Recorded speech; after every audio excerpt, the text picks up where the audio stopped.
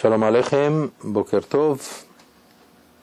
היום יום שישי בסדר פרשת ויחי, שנת תשע"ג. היום זה ט"ו בטבת, I guess, yes. פרשת ויחי. ויחי יעקב, הפרשה מתחילה בויחי יעקב. זה לא רגיל. באמת, כל פרט קטן בתורה צריך לעורר את תשומת ליבנו. כל מילה, כל דבר. כי הרבה פעמים אדם עובר על המילים והוא חושב שהוא קורא קריאה רגילה. אין דבר כזה קריאה רגילה בתורה. הרי בהרבה דברים אתה יכול לשאול כל מיני שאלות על כל פסוק. למה? כי הדברים דורשים לשאול וגם דורשים תשובה. למה ויחי יעקב? וכי התחילה התורה ויחי אברהם? אפילו שרה, התורה החליטה שלא להגיד ותחי שרה, אלא ויהיו חיי שרה. כל דבר יש לו סיבה. האם יש פרשה שמתחילה ויחי יצחק? למה דווקא יעקב? ויחי יעקב בארץ מצרים. נכון שבארץ מצרים פשוטו של פסוק הוא בסדר, לקראת פטירתו, אז, אז רוצים להגיד ויחי יעקב, אבל זה לא סתם, אתה אומר איזה פרשה השבוע? פרשת ויחי. מי? ויחי יעקב. להבין למה. הרי לקא מידי דלה רמיזה באורייתא, אין דבר שלא תמצא בו, שלא תמצא עליו רמז בתורה. רבותינו אומרים, יעקב אבינו לא מת. תחפש בפרשה, אתה תראה, לא כתוב באף מקום וימות יעקב. כתוב על, על יצחק, כתוב על אברהם, אבל לא יעקב. יעקב לא מת. נכון שקברו אותו, את גופו קברו, אבל הוא לא מת. תמצא, לא כתוב בתורה, כתוב ויקרבו ימי ישראל למות. ויקרא לבנו ליוסף, אבל לא כתוב וימות יעקב. זה התורה אומרת לך שלפני ש... שמת, אז ויקרבו ימי ישראל למות. אבל כשנפטר, לא כתוב וימות יעקב, כתוב ויחי יעקב. לא תמצא שכתוב באף מקום בתורה וימות יעקב. כי וימות זה לשון עבר, זאת אומרת מת, לא. רבותינו אומרים בגמרא, יעקב אבינו לא מת. השאלה היא למה? ולמה לא נאמר אותו דבר על אברהם ויצחק, האבות הקדושים שלנו? ש... יש מי שהסביר שהפשט הוא זה. יעקב לא מת בגלל שהוא שורש האומה הישראלית. והאומה הישראלית היא האומה הנצחית. עם ישראל הוא לא יכול למות, כי זה עם השם. הוא נצחי, נצחי. זה לא כמו שאר האומות. שאר האומות הם לא נועדו לחיות לנצח, אבל עם ישראל זה נצחי. ומי השורש של, של עם ישראל? זה אב, אביהם של 12 השבטים. מובן? זה יעקב. אברהם אבינו ודאי שאין גדול ממנו, אבל הוא גם נתן חיים לישמעאל, לאומה שאין לה נצח. יצחק נתן חיים לאומה של עשיו, אדום. אז כיוון שכך, הם לא ידועים במושג ש... שאברהם לא מת, או יצחק לא מת. למה? כי מהם הם שורש של אומות שהן לא נצחיות, שהן מתות. אבל עם ישראל לא מת. אז השורש של עם ישראל זה יעקב אבינו. אז עכשיו אתם לומדים דבר חדש, בעצם יעקב, השם יעקב הוא חשוב מאוד. יש מי שפירש שיעקב, השם יעקב יותר חשוב מהשם של ישראל. הרי יעקב אבינו קיבל את השם ישראל, ואנחנו יודעים שהשם ישראל זה השם של העתיד של עם ישראל. שזה השם של שררה, כשעם ישראל ישרור, הוא זה שישתרר בעולם. נכון? חוץ ממה שדרשנו פעם, שישראל הכוונה להשתרר, היינו להתגבר, שאנחנו, כל יהודי נולד בעולם הזה בשביל להתגבר על יצרו. אבל ישראל זה לעתיד לבוא. אבל עדיין אנחנו שומרים על השם יעקב. לכאורה למה? הרי יעקב זה לא, ישראל זה החשיבות של עם ישראל, אז למה יעקב? יש מי שהסביר שיעקב, אלמלא אם, אם, אם השם לא היה לוקח את השם יעקב ולא היה ניכר עוד שם יעקב, עם ישראל לא היה יכול לחיות. כי ישראל זה מצב של עליונות רוחנית. והלוא עם ישראל פעם, יש דור שעם ישראל בשפל המדרגה ברוחניות, ויש יש לפעמים שהוא יותר. אז אם חס ושלום יהיה איזה דור שעם ישראל לא יוכל להתעלות ברוחניות כפי מה שצריך, על פי ההגדרה של ישראל, הוא לא יכול להתקיים. כדי, ש... כדי שעם ישראל יתקיים אפילו בדורות שהם בשפל המדרגה ברוחניות, לכן שמרו את השם יעקב. אתה מבין את זה? זה דק מאוד, אבל מי שמבין, מבין את זה. אז, אז זה העניין, יעקב אבינו לא מת, כך כתוב מפורש בגמרא, יעקב אבינו לא מת. מה זה לא מת? נצחי. למה? כי הוא נתן חיים לאומה ישראלית שהם חיים לעולם. הרי תראה, מה לא עשו הגויים בשביל לכלות אותנו? מה לא עשו? הרי למעשה הנוצרות היא גנבה, רצתה לגנוב את היהדות, היא גנבה בעצם את היהדות. אבל זה לא עזר להם.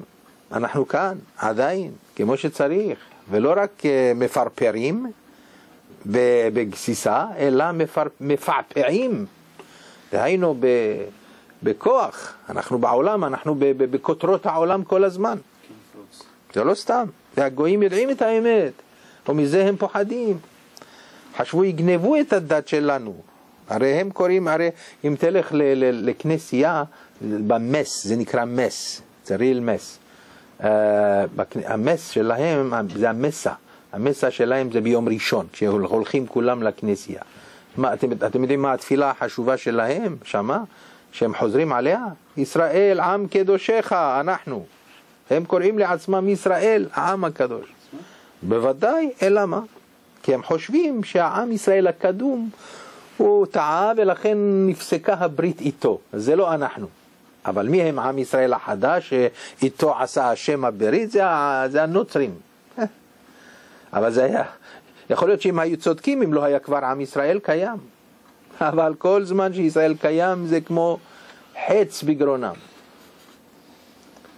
אז הדברים, צריכים להבין את זה, אנחנו במצב של יעקב, הן ברוחניות, הן בגשמיות. בגשמיות הכוונה יעקב, שאנחנו העקב של, של, של האומות, למרות הכל זמן שלא בא הגואל שלנו. אבל זה גם כן יעקב מסמל את השפל הרוחניות, שעם ישראל הרי הוא חי רק בגלל התורה. ומה יעשה עם ישראל אם, אם אין בו תורה? נגיד, יש דורות שהיו שעם ישראל היו לגמרי לגמרי ירודים, כמו בדור לפני השואה. אף על פי שהיה הרבה תורה, אבל היה הרבה הרבה בריחה מן הדת, אז מה יהיה? אז לכן השם שימר לנו את השם יעקב, שבגלל שאתה גם יעקב וגם ישראל, אז אפילו אם אתה לא ישראל, אתה נשאר עדיין קיים. מובן? אז אנחנו, זה המילה של פרשת השבוע להיום. אנחנו נסתפק עכשיו בעוד איזה הלכה בענייני קריאת שמע.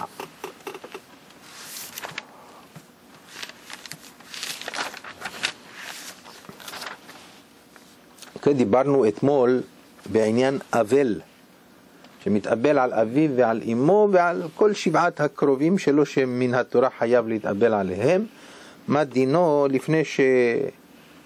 שעדיין לא קברו את המת, מה דינו, האם הוא חייב בקריאת שמע, בתפילה במצוות, אז כמובן דיברנו בזה, ואנחנו מבינים שהוא פטור. באותו זמן, כל זמן שלא קברו את המת, כל זמן שלא קברו את המת, אפילו שהוא לא מתעסק במת. אם הוא מתעסק במת זה כל שכן.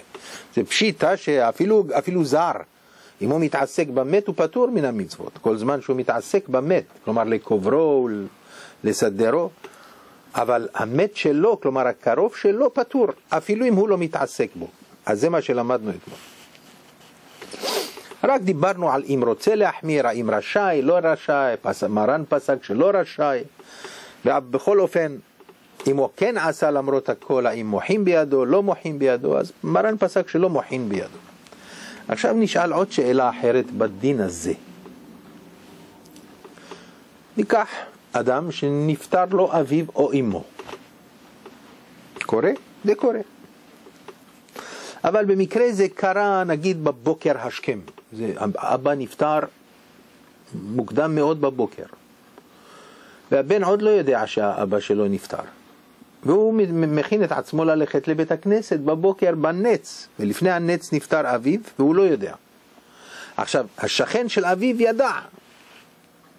שמעו, עכשיו הבעיה של השכן היא, האם יבוא ויגיד לבן שאביו נפטר או לא? הרי אם יגיד לבן, ברגע שיגיד לבן, הבן נחשב אונן ויהיה פטור ולא צריך ללכת לבית הכנסת. ואז הוא יתבטל בקריאת שמע ובשאר, ובתפילה. אין מה לעשות. אבל אם לא יגיד לו, כל זמן שלא אמר לו, הבן לא יודע, הוא הולך לבית הכנסת ומקיים את המצוות שהוא חייב בהן. אז זו השאלה עכשיו, האם להודיע לו או לא להודיע לו? שאלה יפה או לא? התשובה לזה נמצאת בפתחי תשובה. פתחי תשובה זה אחד הפוסקים שנמצאים בשולחן ערוך, ביורה דעה, בסימן שמ"א, זה מובא בכף החיים, בסעיף קטן ג', בסימן שלנו ע"א, והפתחי תשובה כתב תשובה חשובה לשאלה הזאת. והוא הביא את זה בשם ספר חמודי דניאל. בסדר? מה התשובה? כותב ככה, מי שמת לא מת רחמנא ליצלן, וזה קודם התפילה, אם יש לו קוברים, אם יש מי שקובר, שמטפל במת, לא צריך להגיד לו. כמו שהסברנו, אם תגיד לו, הוא מפסיד את התפילה בקריאת שמע.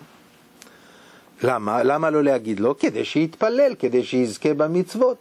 הרי מצווה גדולה לגרום ליהודי אחר לזכות במצווה. דרך אגב, אני רק אומר לכם דרך אגב. אם אתה יודע שיכול, שאתה יכול לזכות יהודי באיזה מצווה, זו מצווה גדולה בשבילך גם כן. בשביל זה אתה רואה יהודי חילוני, עובר ברחוב, לא הניח תפילין, ואתה מושך אותו לשים תפילין, מצווה גדולה מאוד. אז כאן יש לנו אדם. אם תגיד לו, הוא לא יוכל להניח תפילין. לא תגיד לו, הוא ילך ויתפלל. בא, בא, פוסקים, בא פתחי תשובה ואומר, אם יש אחרים שיכולים, ל, ל, ל, נגיד מתה אחותו, לא אביו דווקא, ואחותו נשואה, ובעלה הוא צריך לטפל בה, והאח עדיין לא יודע שהיא נפטרה, לא כדאי להגיד לו, כדי שיתפלל וירוויח את המצוות. אבל אם במקרה זה מת שהוא מוטל עליו לקוברו, אין אחר. לקבור אותו, כמו הבן לאביו או לאמו, ואין אחר שידע, אז במקרה זה מיד צריך להגיד לו. אבל אם יהיה לו צער של העם לא מסתכלים על הצער הזה. שאלה טובה אתה שואל משה, מי יהיה לו צער? מה אכפת לי מהצער? אבל לקיים מצווה זה חשוב מאוד. חוץ מזה איזה צער? אבא שלו. לא שייך הרבה צער. אז אמרו לו מיד אחר כך, מיד אחרי התפילה אמרו לו. מה, מה, במה צער יהיה לו? אה, כן, הוא נפטר, אז למה לא אמרתם לי? אין דבר, הדבר בן אדם התפללת, יפה מאוד. הוא לא יכעס מאוד מזה, אדרבה, אולי אפילו ישמח מזה. אם כן, אנחנו יכולים ללמוד מזה שמצוות התפילה והקריאת שמע והמצוות קיימת אפילו במצב כזה. היא עדיין קיימת, רק הוא פטור במקרה ואין, והוא צריך להתעסק אז הוא פטור, אבל המצווה היא קיימת. הרי הוכחנו את זה מזה, נכון? עכשיו אתם יכולים להבין למה מרן פסק שאף על פי שהוא לא רשאי, במקרה והוא פטור, הוא לא רשאי להחמיר על עצמו, אבל אם בכל זאת יחמיר על עצמו, לא מוחים בידו. אתם זוכרים שפלפלנו בזה אתמול. אז עכשיו אנחנו מבינים למה לא מוחים בידו. למה? כי עדיין המצווה קיימת, יש לו טענה. הטענה היא שבכל זאת הוא עדיין, הוא, המצווה יכולה להיות קיימת בשבילו. מובן? לכן אם הוא החמיר, אז אל תמחה בידו. אלא שעדיין יש לשים לב, בכל זאת צריך לשים לב, היכה דכבודו של מת עומדת, עומד בעניין. אם יש כאן עניין של כבוד של המת, נגיד, הולך לקיים את המצווה, ובינתיים אבא שלו זרוק ואין מי שמסתכל עליו, זה כבר לא כבוד. ברור שהוא פטור לגמרי ואסור לו להפסיק, אסור לו להחמיר על עצמו וללכת להתפלל קודם, כי כאן מדובר כבר בכבודו של אביו, בכבודו של מת. כבוד המת, לא עוזבים אותו. אבל אם יש מי שמטפל בו ויש מי שמסדר אותו, אז זה, זה תלוי מי. אם זה אבא שלו, אפילו שמתעסקים בו, אפילו שיש אחרים שמתעסקים בו עדיין עוד. אל תגיד לי שהוא הולך להתפלל כשהוא יודע שאביו מת, אין דבר כזה. כי אז כבר הסברנו שיש בזה זלזול במת. למה? מה יגידו? שהמת הזה לא אכפת לו מאביו, שהאדם הזה לא אכפת לו מאביו שמת. אז לכן, תלוי בכבוד של האדם. אם זה לא דבר שקשור לו כבוד, והוא, אפשר לתת לו את ה... ללכת להתפלל בלי שידע, אז בסדר גמור. מובן? הבנתם את העניין הזה? אבל בינתיים הבנו שבכל זאת המצווה כאן קיימת. למרות שהוא פטור ממנה, אבל המצווה עדיין קיימת. עוד שאלה בנידון. נניח שהנה עוד סצנריו אחר. אם נודע לבן שמת אביו, הבן יודע שאביו מת, ואפילו הודיעו לו, לבן, שמאחרים את, הקרוב, את הקבורה בכמה ימים. נניח שהבן הוא נמצא באמריקה, והבא שלו נפטר בארץ. אז על פי דין, אף על פי שלא טוב לאחר את הקבורה של המת, אבל בכל זאת, מפני כבודו של מת, אם יודעים שהבן שלו או הילדים שלו נמצאים רחוק, מחכים להם שיבואו. וזה משום כבודו של מת, דווקא משום כבודו. תראה, יש לפעמים שלקבור אותו זה חובה מהר משום כבודו, ולפעמים משום כבודו צריך לאחר. למה? במקרה, אם אין לו משפחה והמשפחה רחוקה, מחכים להם. זה ידוע. בירושלים זה קצת מצב יותר מסובך. בכל אופן. אז נניח, אם כן, האדם הזה, הבן הזה נמצא רחוק, ועכשיו נודע לו, קיבל מברק, או קיבל טלפון שהבת שלו נפטר. וגם הודיעו לו שהם מאחרים את הקבורה בגללו בכמה ימים אפילו, כדי לתת שהות למשפחתו להגיע ממקומות שונים. כלומר, לא רק בן, יכולה להיות בת באלסקה, אחרת בהונג קונג, מי יודע. עכשיו בינתיים, הרי הבן הוא יכול היה לבוא לפני כן, אבל צריך עוד לחכות גם לבנות, צריך לחכות למי עוד ש... לכן אפילו כמה ימים משאירים את, ה... את המת. אז בינתיים מה עושה הבן? הרי הבן יכול, יש לו עוד זמן להתפלל, כי הוא יודע שיש מי שיותר מאוחר ממנו. אז האם הבן, נניח שהבן הוא נמצא בארץ, גם כן, ליד אביו, אבל רוב המשפחה נמצאת רחוק, וצריכים לחכות להם, לתת להם שהות אפילו של כמה ימים. מובן? אז בינתיים מה יעשה הבן? ילך לבית הכנסת או לא ילך לבית הכנסת? הוא רוצה ללכת לבית הכנסת, לומר קדיש על אביו. אבל איך? הרי הוא אונן, ואונן פטור מן המצוות, כל זמן שלא נקבר אביו. אבל הוא רוצה לומר קדיש, הוא מרגיש שהוא רוצה. האם למחות בו או לא? זה השאלה. אם כן, עוד פעם, מצד הדין הוא פטור. כי הרי הוא אונן, אונן פטור במצוות. אבל זה כבר כמה ימים, והוא מת, ומרוב אהבתו לאביו הוא רוצה להגיד קדיש על אביו. האם, האם יכול לעשות את זה? לא, לא, השאלה היא האם הוא לא יכול, האם הוא יכול או לא יכול. כי הוא, לא, כי הוא פטור, אז אין לו מה לעשות את זה, הוא לא רשאי אפילו. אבל אם הוא כן רצה, האם מוחים בו או לא? זו השאלה. המשנה ברורה בסימן שלנו בסעיף קטן ז', כותב ככה, מכל מקום, בן שהוא אונן על אביו, ויש מתעסקים בלעדיו, כלומר יש אחרים שיכולים לטפל בקבורה. מוטעים, זה התנאי. אם הוא, בעצמו, אם הוא בעצמו צריך לטפל, לא שייך שאלה, ברור שפטור. מדובר בבן שיש מישהו אחר שמטפל באביו, והוא, אז הוא אומר, אם הוא רוצה, מותר לו ללכת לבית הכנסת לומר קדיש עליו, כך פוסק המשנה ברורה. למה? כי זה כבודו של אביו. הוא מותר לכולי עלמא, הוא אומר. ומכל שכן בשבת ויום טוב. הרי המת מוטל ואין לקוברו בשבת, בלאו הכי לא יכולים לקבור מת בשבת, נכון? אז עכשיו הוא, הבן רוצה ללכת לבית הכנסת, הוא רוצה להגיד קדיש ביום שבת, הוא לא רוצה להישאר בבית אה, כשאביו מוטל שמה, מותר. והמשנה ברורה כתב עוד שמה בשם הפרי מגדים, שדווקא זה אפשר אם אין אבלים אחרים, אבל אם יש אבלים אחרים, אין לו מה, הוא לא יכול לעשות פילוג.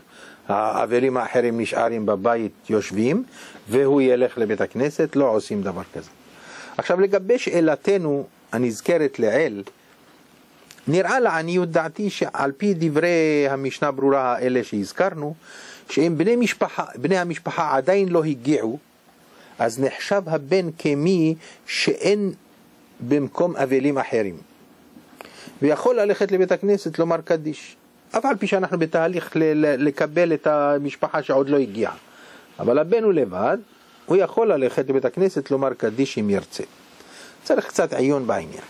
אבל אם הגיעו, ברגע שכל המשפחה הגיעה, זה לא הזמן ללכת לבית הכנסת. אין לו ללכת לבית הכנסת, אלא רק אחרי הקבורה. מובן הדבר או לא? והלכה למעשה, לשאלה שאמרנו, אין בידי כאן דבר ברור, אבל בינתיים זה נסתפק בזה.